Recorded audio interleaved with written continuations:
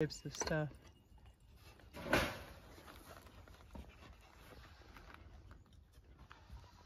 Wow, what a big spider. I'm glad I spotted it. Oh, He's showing you his home. it lives in there? Interesting. Oh, you gotta just leave the piece of wood. All right, I will. That's his habitat. I kind of, I just like that cunningness and shit. That's so yeah, yeah.